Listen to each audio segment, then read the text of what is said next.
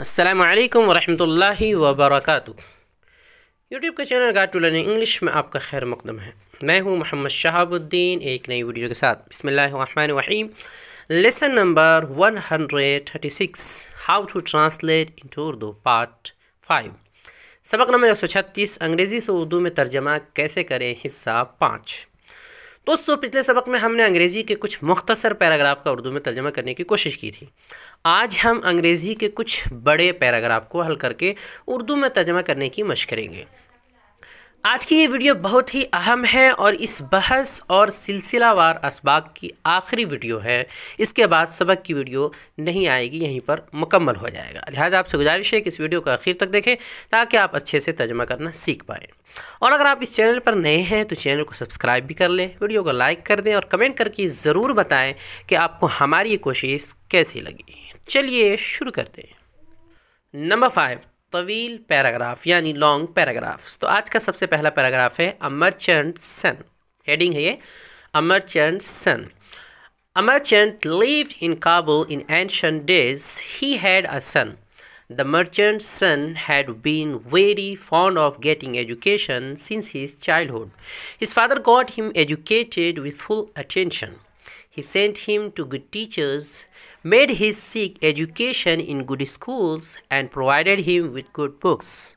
As a result, he became skillful in most of the branches of learning of the time till he became young. When the fame of his learning made its way to the king, he became very pleased. The king made the merchant's son his minister and began to manage all the affairs with his consultation. तो ये पूरा paragraph है तरतीब बार सबका तर्जमा करेंगे। तो सबसे पहले सुर्खी है इसमें अमरचंद सन। तो ए का तर्जमा जो हो जाएगा, यहाँ ए को आ पढ़ रहे हैं इसलिए कि ये तलफ़ आ होता है पढ़ते वक्त। तो इसका माना हो जाएगा, एक, और मर्चेंट सन, ये इजाफत वाला लफ्ज़ है। तो तर्जमा होगा सौदागर का लड़का। पूरा हो जाएगा, यानी सौदा एक सौदागर का लड़का, एक सौदागर का लड़का।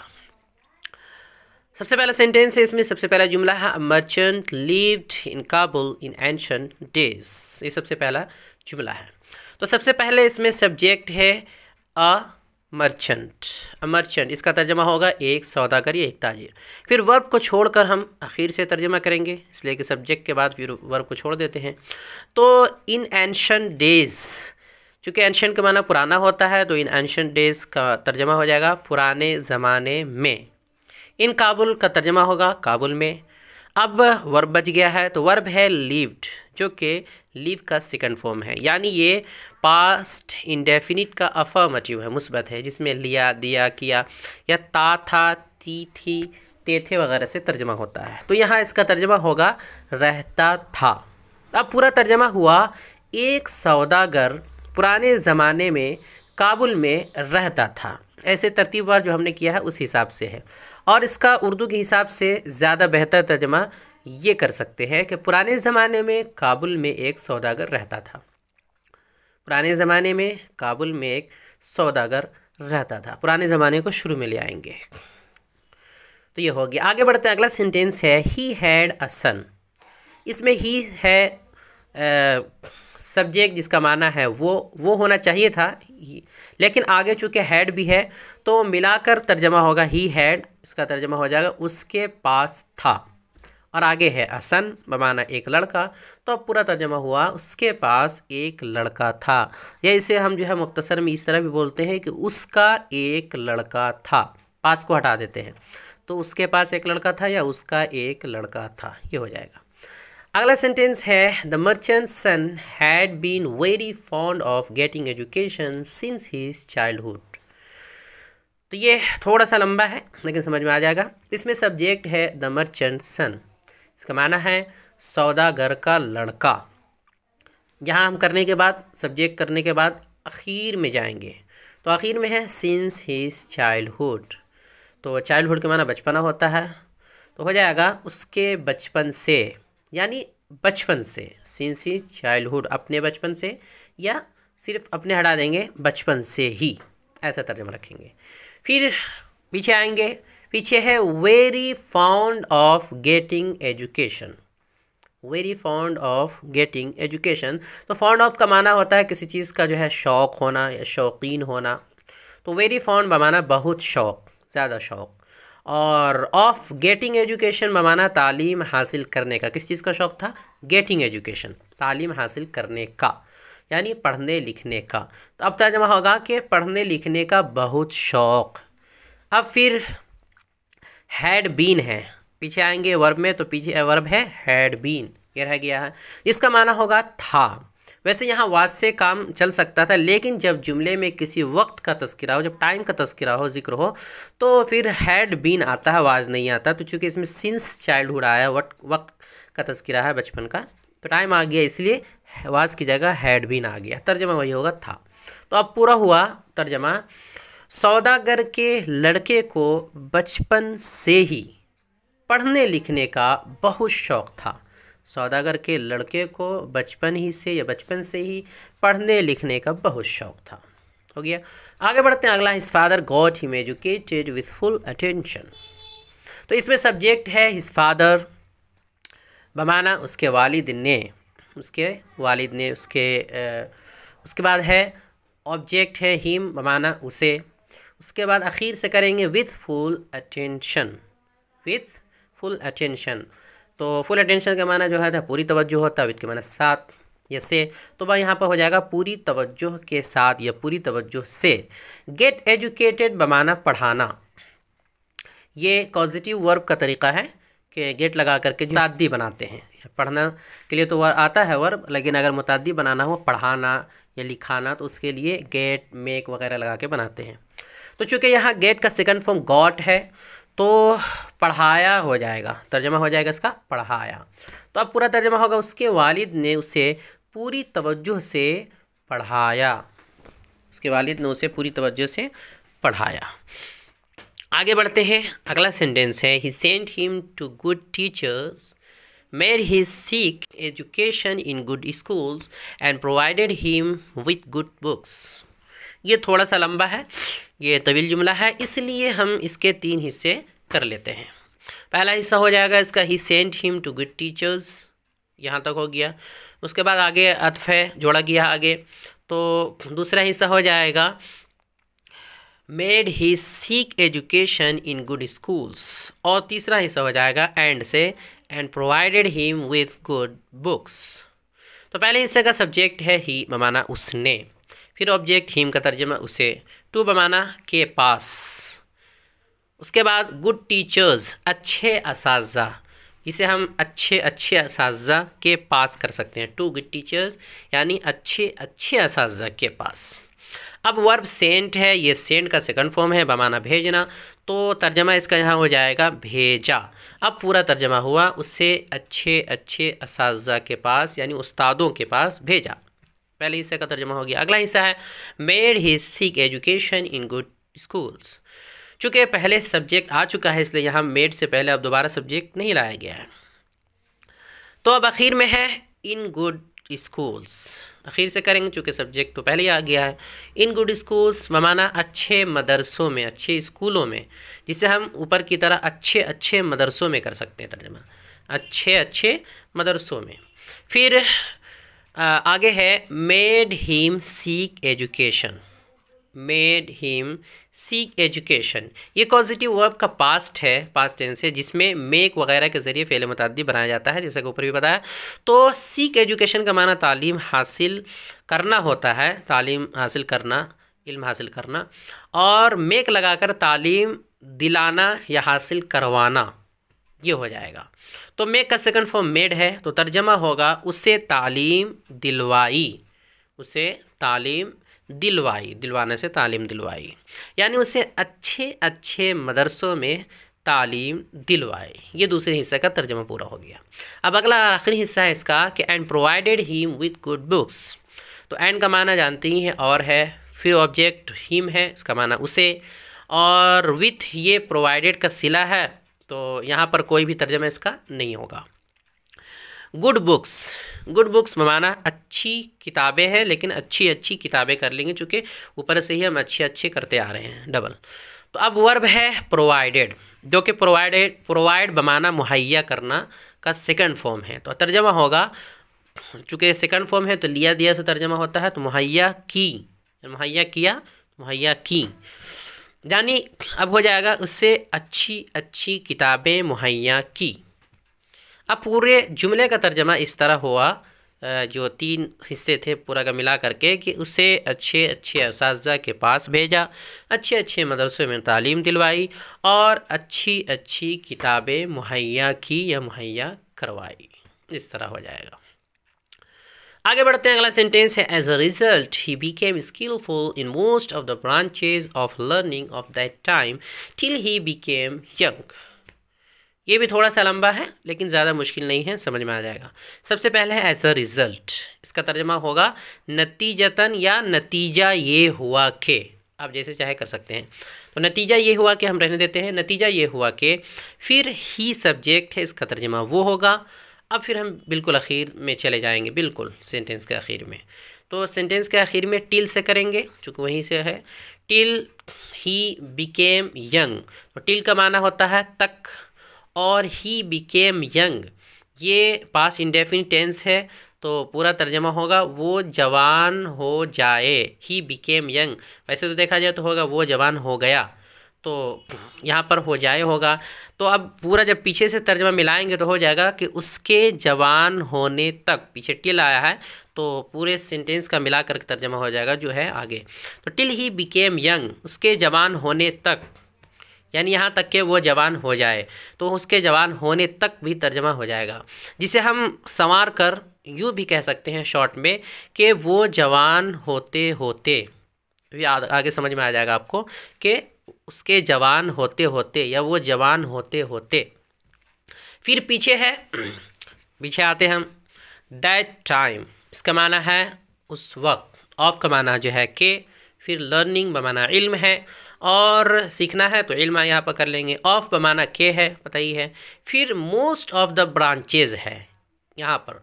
तो इसका तर्जमा वैसे तो लफ्ज़ी होगा मोस्ट ऑफ़ द ब्रांचेज यानी अक्सर शाखों।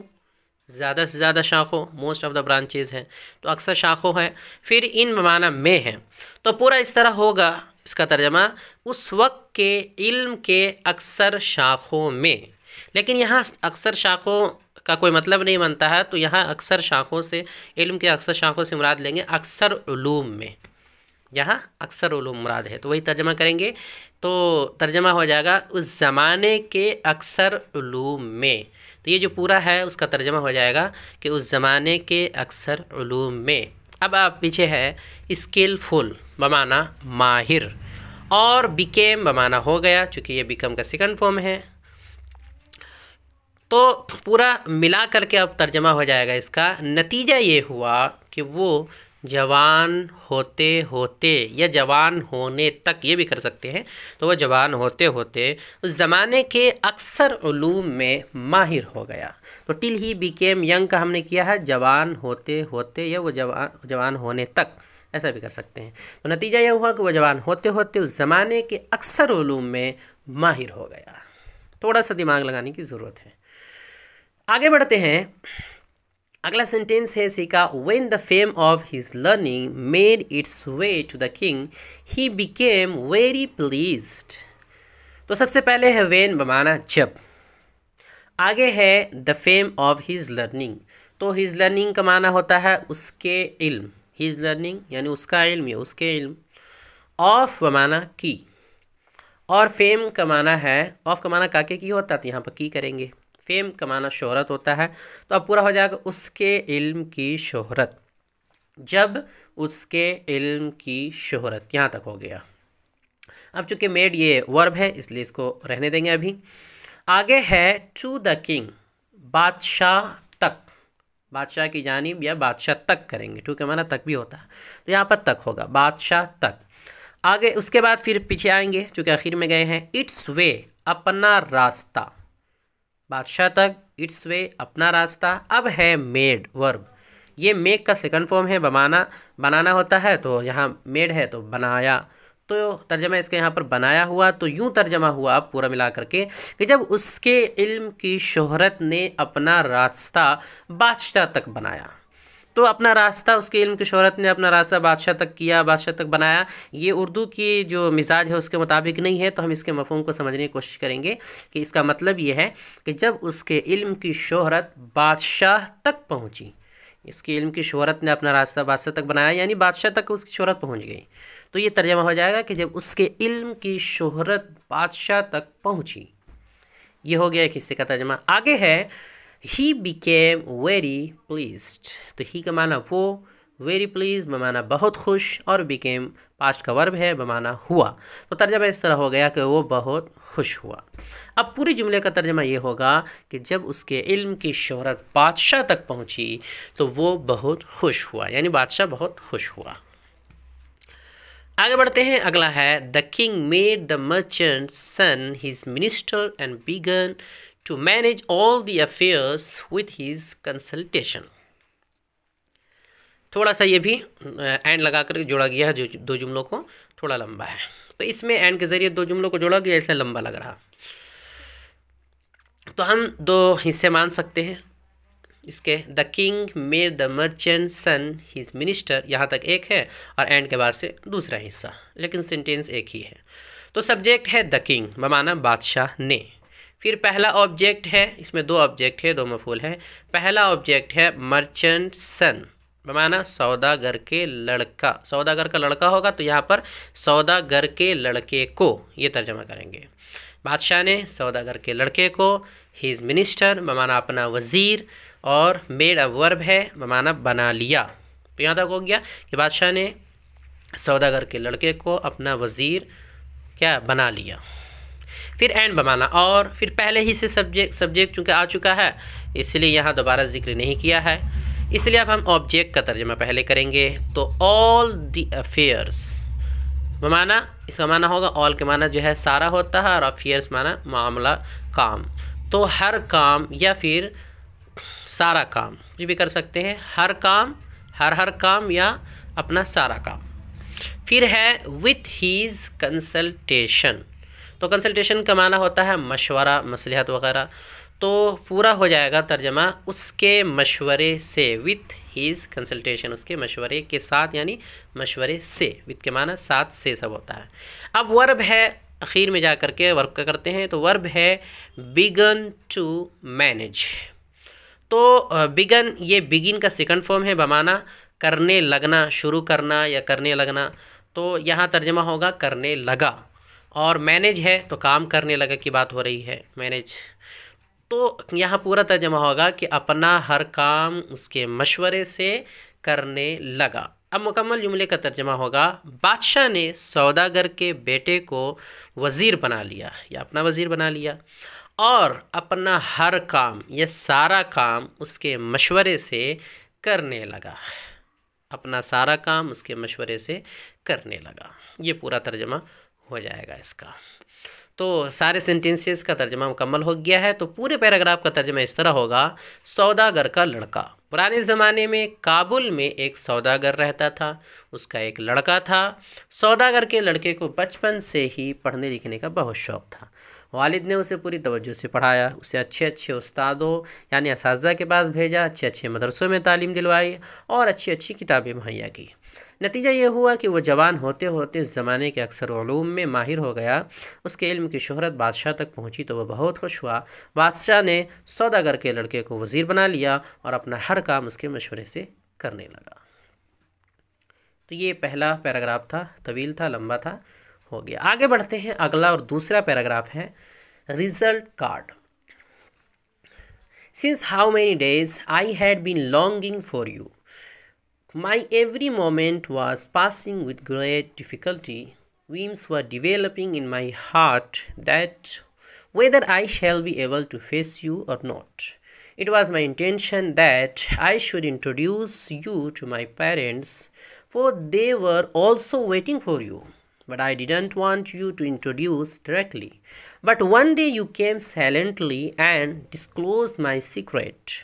You disgraced me, due to which my parents gave me that beating what a thief will get of that kind. I was helpless and continued to receive beating. If it was within my reach, I could overcome you. But oh my result card you are very cruel ये पूरा paragraph है। इसमें कह सकते हैं कि दो paragraph को मिलाया गया। शुरू में एक छोटा है और उसके बाद बड़ा पैराग्राफ है। तो चलिए, सबसे पहले सुर्खी है रिज़ल्ट कार्ड। तर्जमा भी रिज़ल्ट कार्ड ही करेंगे, इसलिए कि रिज़ल्ट कार्ड आमतौर पर इस्तेमाल होता है। नतीजा कार्ड नहीं बोलते हैं, रिज़ल्ट कार्ड ही बोलते हैं। उसके बाद सबसे पहला सेंटेंस है इसका, जुमला है since how many days I had been longing for you ये पास्ट परफेक्ट कंटिन्यूस का जो है वो सेंटेंस है जुमला है जिसके उर्दू तर्जमा में रहा था, रही थी या फिर ता आ रहा था, ती आ रही थी, ते आ रहे थे वगैरह जैसे अल्फाज आते हैं। छः तरीक़ों में से ये पाँचवा है, यानी डब्ल्यू एच फैमिली वाला है। तो सिंस हाउ मैनी डेज़ बमाना कितने दिनों से?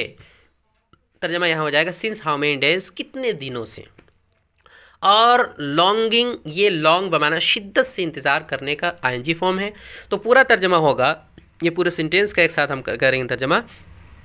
कि मैं तुम्हारा इंतज़ार कर रहा था, ये वर्ब का। तो अब मुकम्मल तर्जमा होगा कि कितने दिनों से मैं तुम्हारा इंतज़ार कर रहा था या करता आ रहा था, जिसे हम इस तरह भी कह सकते हैं, सही अंदाज में और मज़ीद, कि मुझे कितने दिनों से तुम्हारा इंतज़ार था। ये भी हो जाएगा, मुझे कितने दिनों से तुम्हारा इंतज़ार था। चलिए आगे बढ़ते हैं, अगला सेंटेंस है my every moment was passing with great difficulty तो सब्जेक्ट है इसमें माई एवरी मोमेंट बमाना हर लम्हा, यानी एक एक लम्हा, हर लम्हा यानी एक एक लम्हा। एक ही बात हुई, तर्जमा करने का अंदाज़ अलग होता है, हर लम्हा यानी एक एक लम्हा, दोनों कर सकते हैं। विथ ग्रेट डिफ़िकल्टी तो ग्रेट के माना तो जो होता है बड़ा या ज़्यादा, कसीर ऐसे होता है डिफ़िकल्टी के माना मुश्किल विथ के माना से है तो विथ ग्रेट डिफ़िकल्टी बमाना बड़ी मुश्किल से। वास पासिंग ये पास्ट कंटिन्यूस का टेंस है पास बमाना गुज़रना तो वास पासिंग बमाना गुज़र रहा था। तो पूरा तर्जमा होगा, मेरा एक एक लम्हा या हर लम्हा बड़ी मुश्किल से गुज़र रहा था। मेरा एक एक लम्हा बड़ी मुश्किल से गुज़र रहा था। आगे बढ़ते हैं, अगला सेंटेंस है whims were developing in my heart that whether I shall be able to face you or not तो देखिए, इसमें सब्जेक्ट है वीम्स बमाना वसवसे, ये वीम की जमा है वीम्स प्लूरल है, वसवसे ख्यालात। फिर इन माई हार्ट आ जाएगा। सब्जेक्ट हो गया है तो अब हम आगे बढ़ेंगे। इन माई हार्ट का तर्जमा होगा, मेरे दिल में वाज डिवेलपिंग ये पास कंटिन्यूस का टेंस है, जिसमें रहा था से तर्जमा होता है रहा था रही थी। रहे थे तो डिवेलप का माना पैदा होना, बढ़ना, तरक्की करना, वगैरह वगैरह, बहुत सारे मानी होते हैं। तो यहाँ होगा, पैदा हो रहे थे। यानी दिल में वसवसे पैदा हो रहे थे। ये असल है कि दिल में वसवसे पैदा हो रहे थे। मेरे दिल में वसवसे पैदा हो रहे थे। मेरे ना भी बोले, चलेगा। आगे दैट बमाना के। उसके बाद है वेदर बमाना, आया या जाने। बोलते हैं ना, आया या फिर जाने या न जाने, ऐसा होगा कि नहीं। तो उसी के लिए इस्तेमाल होता वेदर का तर्जमा कर सकते आया या जाने। आई बमाना, मैं। बी एबल टू ये मॉडल वर्ब है, जिसका माना होता है कर पाना, सकना। जो है फ्यूचर में अगर सकना का माना अदा करना हो तो बी एबल टू लाते हैं, ख़ास तौर और साथ में चूँकि शैल है, जो कि विल की तरह है विल बी एबल ख़ास तौर इस्तेमाल होता है तो तर्जमा हो जाएगा, कर पाऊँगा। कर पाऊँगा, यानी कर सकूँगा। और आगे टू फेस यू है टू फेस यू बमाना तुम्हारा, सामना टू फेस के माना, सामना करना, मुकाबला करना, यू माना तुम्हारा। फिर आगे है और नोट बमाना या नहीं। अब यूँ तर्जमा होगा कि जाने मैं तुम्हारा सामना कर पाऊँगा या नहीं। या फिर आया आया, मैं तुम्हारा सामना कर पाऊँगा या नहीं। तो जाने ज़्यादा बेहतर लग रहा है। और पूरे जुमले का मुकम्मल तर्जमा ये होगा, दिल में वसवसे उठ रहे थे। शुरू से दिल में ये वसवसे उठ रहे थे कि जाने तुम्हारा सामना कर भी पाऊँगा या नहीं? दिल में वसवसे उठ रहे थे कि जाने तुम्हारा सामना कर भी पाऊँगा या नहीं? ये पूरा हो जाएगा। आगे बढ़ते हैं। अगला सेंटेंस है it was my intention that I should introduce you to my parents for they were also waiting for you तो शुरू में है it was my intention that ये तो बहुत ही आसान है। यानी मेरा इरादा था के। इट वॉज़ माई इंटेंशन मेरा इरादा था डैट के। अब है आगे आई माना मैं। फिर हम सब्जेक्ट के बाद ऑब्जेक्ट में जाएँगे तो यू है, इसके माना तुम है। टू माई पेरेंट्स अपने वालदेन से। चूँकि इंट्रोड्यूस आ रहा है तो इसलिए यहाँ पर वालदेन से करेंगे, अपने वालदेन से। उसके बाद शुड इंट्रोड्यूस है। तो इंट्रोड्यूस का माना होता है मिलवाना, मुतारफ़ कराना। शुड इंट्रोड्यूस है तो यहाँ पर मिलवाना चाहिए भी तर्जमा कर सकते हैं, लेकिन यहाँ हम मिलवाऊँ से तर्जमा करेंगे। शूट इंट्रोड्यूस मिलवाऊँ, तर्जमा होगा। दोनों तरह कर सकते हैं। यानी मेरा इरादा था कि तुम्हें अपने वालदेन से मिलवाऊँ। आगे है फोर, बमाना क्योंकि फोर का तर्जमा क्योंकि भी होता है, ऐसा इस्तेमाल होता है। बीच में आता है ये। तो फोर बमाना क्योंकि दे ऑल्सो दे अलग है और ऑल्सो थोड़ा आगे है, लेकिन जो है एक साथ करेंगे। दे ऑल्सो यानी वो भी उसके बाद है फॉर यू तुम्हारा, आखिर में है। उसके बाद वर्ब बच गया है, वर वेटिंग वर वेटिंग ये इंतज़ार कर रहे हैं तो इसलिए वेटिंग का माना इंतज़ार करना है। वेट का माना उसी का एनजी फॉर्म है। और वर वेटिंग ये जो है पास्ट कंटिन्यूस का टेंस है। तो रहा था रही से तर्जमा होगा तो इंतज़ार कर रहे थे। तो अब हो जाएगा, यानी वो भी तुम्हारा इंतज़ार कर रहे थे। जिसे यूँ भी कह सकते हैं, क्योंकि उन्हें भी तुम्हारा इंतज़ार था। हम उर्दू में जैसे चाहें उसको बना सकते हैं, मफहूम समझ में आ जाए। क्योंकि उन्हें भी तुम्हारा इंतज़ार था। अब मुकम्मल तर्जमा होगा, मेरा इरादा था कि तुम्हें अपने वालदेन से मिलवाऊँ, क्योंकि उन्हें भी तुम्हारा इंतज़ार था। चलिए आगे बढ़ते हैं, अगला है but I didn't want you to introduce directly तो सबसे पहले है बट बमाना लेकिन आई बमाना मैं यू के माना होता है तुम्हें। डायरेक्टली के माना सीधे तौर पर। डायरेक्टली बोलते हैं ना, कि बिल्कुल जो है सीधे तौर पर डायरेक्टली बरह रास्त जिसको बोलते हैं। तो सीधे तौर पे तर्जमा यहाँ पर रहेगा। टू इंट्रोड्यूस के माना मुतारफ़ करवाना या मिलवाना। तो ये, उसके बाद है आखिर में रह गया है क्या? वर्ब डिडेंट वांट ये पास इंडेफिनिट का टेंस है और नेगेटिव है मनफी है। तो वांट के माना चाहना है तो इसलिए डिडेंट वांट का तर्जमा होगा यहाँ पर, नहीं चाहता था। ता था से नहीं चाहता था। अब पूरा तर्जमा होगा, लेकिन मैं तुम्हें सीधे तौर पर नहीं मिलवाना चाहता था, लेकिन मैं तुम्हें सीधे तौर पर नहीं मिलवाना चाहता था या मिलवाना नहीं चाहता था। दोनों हो जाएगा। आगे बढ़ते हैं, अगला सेंटेंस है but one day you came silently and disclose my secret इसमें भी शुरू में है बट बमाना मगर।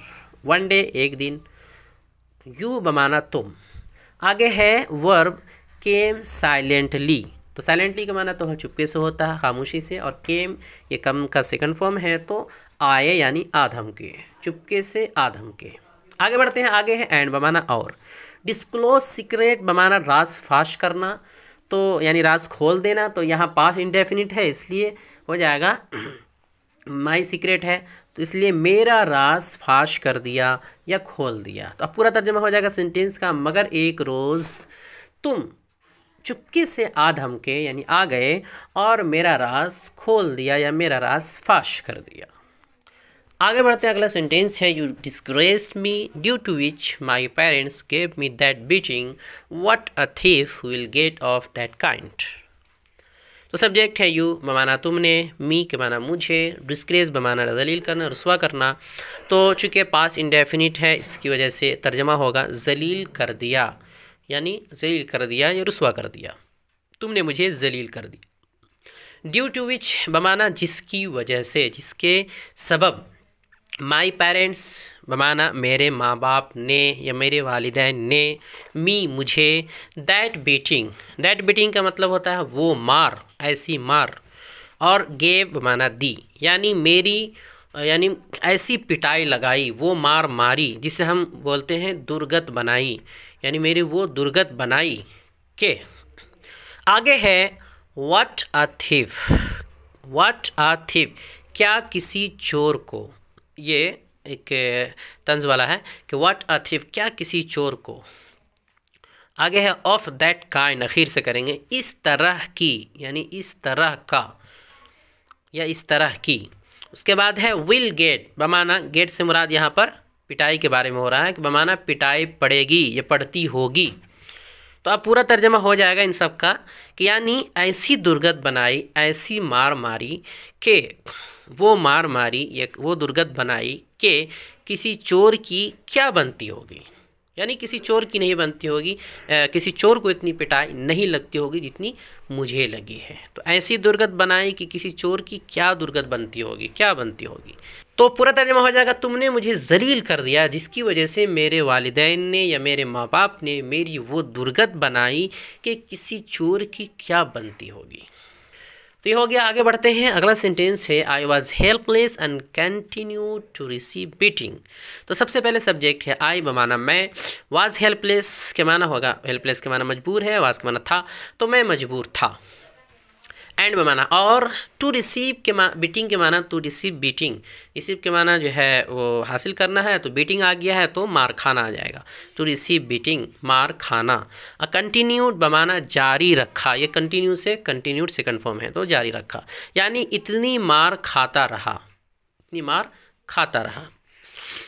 तो पूरा हो जाएगा, मैं मजबूर था और उतनी मार खाता रहा या पिटाई खाता रहा. आगे है if it was within my reach I could overcome you if it was within my reach I could overcome you इसे दूसरी तरह भी कह सकते हैं, लेकिन यहाँ ऐसे ही लिखा हुआ है। तो ये शर्तिया जुमला है, जिसमें अगर ऐसा होता तो वैसा होता। ऐसा तर्जमा करते हैं कि अगर ऐसा होता तो वैसा होता। तो इससे तर्जमा होता है, पता ही होगा। तो इफ़ बमाना अगर है इट बमाना ये। विद इन माई रीच यानी मेरी पहुँच के अंदर विद इन के माना अंदर माई रीच मेरी पहुँच, मेरी रसाई, मेरी पहुँच के अंदर वाज के माना यहाँ पर होगा होता। तो शर्तिया है, इसलिए था के बजाय होता तर्जमा हुआ। तो इसका मफहम यह है, मुराद ये है कि अगर मेरे बस में होता, अगर मेरे यहाँ मेरी पहुँच में होता, पहुँच के अंदर होता का मतलब मेरे बस में होता। उसके बाद है आई बमाना, मैं ओवर कम बमाना जो है हराना, चित करना होता है तो कुड ओवर कम यू बमाना तुम्हें चित कर देता या हरा देता। तो पूरा तर्जमा इस तरह होगा कि अगर मेरे बस में होता तो तुझे चित कर देता या तुझे शिकस्त दे देता, हरा देता, यानी तुम पर गालिब आ जाता। आगे बढ़ते हैं, अगला और आखिरी सेंटेंस है but oh my result card you are very cruel ये जुमला है तो सब्जेक्ट इसमें बट है, बमाना, मगर, ये आखिरी जुमला है। इसका। तो बट बमाना अगर है ओ माई रिज़ल्ट कार्ड ए मेरे रिज़ल्ट कार्ड हो जाएगा तर्जमा यू के माना तुम है। Are very cruel very cruel के माना बड़ा ालिम है तो आर वेरी क्रूअल है तो बड़े ालिम हो हो जाएगा। यानी, मगर तू बड़ा ालिम है। तो इसे हम इस तरह भी पूरा तर्जमा कर सकते हैं कि मगर तू बड़ा ालिम है, ए मेरे रिज़ल्ट कार्ड मगर तू बड़ा ालिम है, ए मेरे रिज़ल्ट कार्ड तो ए मेरे रिज़ल्ट कार्ड को आखिर में करेंगे। अब मुकम्मल तर्जमा हो गया है, मुकम्मल पैराग्राफ का तर्जमा इस तरह हो जाएगा कि रिज़ल्ट कार्ड। मुझे कितने दिनों से तुम्हारा इंतज़ार था? मेरा एक एक लम्हा बड़ी मुश्किल से गुजर रहा था। दिल में वसवसे उठ रहे थे कि जाने तुम्हारा सामना कर भी पाऊँगा कि नहीं। मेरा इरादा था कि तुम्हें माँ बाप से मिलवाऊँ, क्योंकि उन्हें भी तुम्हारा इंतज़ार था, लेकिन मैं तुम्हें सीधे तौर पर नहीं मिलवाना चाहता था। मगर एक रोज़ तुम चुपके से आधम के और मेरा रास खोल दिया, यानी फाश कर दिया। तुमने मुझे जलील कर दिया। इसकी वजह से मेरे बा माँ बाप ने मेरी वो दुर्गत बनाई कि किसी चोर की क्या बनती होगी। मैं मजबूर था और इतनी मार खाता रहा। अगर मेरे बस में होता तो तुझे चित कर देता। मगर तू बड़ा ालिम है, ए मेरे रिज़ल्ट कार्ड। तो दोस्तों, ये दो पैराग्राफ थे लंबे लंबे जिनका तर्जमा हमने जो है करने की कोशिश की है। उर्दू में बहुत हद तक हो सकता है कहीं कमी भी रह गई हो, कोई मसला नहीं है धीरे धीरे हो जाएगा। आप कोशिश करेंगे तो बहुत अच्छे अंदाज में आपको तर्जमा करना आ जाएगा जितनी मश्क करेंगे, उतना ज़्यादा आपको आ जाएगा। अलहमदिल्ला हमने इंग्लिश से उर्दू तर्जमा निगारी की मश्क मुकम्मल कर ली है।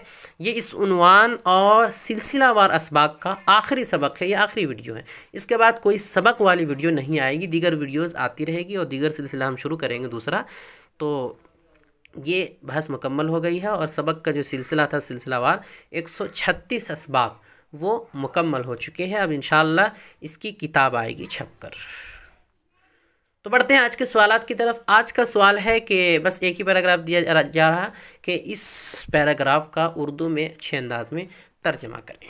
तो पैराग्राफ है, Medina is a sacred city of Arabia. It is about 300 miles from Mecca. Cars cover this distance in 4 to 5 hours. Medina is the city of Prophet of Islam sallallahu alaihi wasallam. There are many mosques there, but Masjid Nabawi is the most famous of all. The holy tomb of the Prophet, Holy Prophet sallallahu alaihi wasallam is in this mosque. 100,000 Muslims can establish prayers there. There are many hotels in Medina. All buildings are also there. All Muslims have strong desire to visit this city once in life. ये paragraph है, थोड़ा लंबा है, लेकिन एक ही है। इसका तर्जमा करने की उर्दू में कोशिश करें। वीडियो देखने के लिए आपका बहुत शुक्रिया। चैनल को सब्सक्राइब करें। स्क्रीन पर आ रही ये वीडियो ज़रूर देखें। अल्लाम वरहमल वर्का